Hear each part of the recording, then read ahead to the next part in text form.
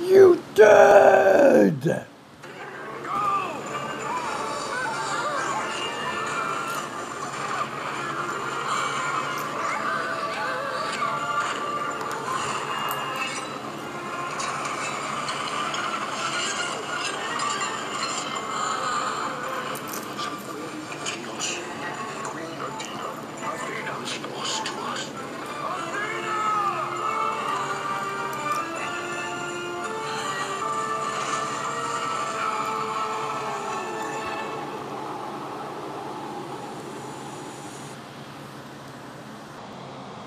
Is the latest on Hurricane Irma. Stay tuned to NBC2 for more details.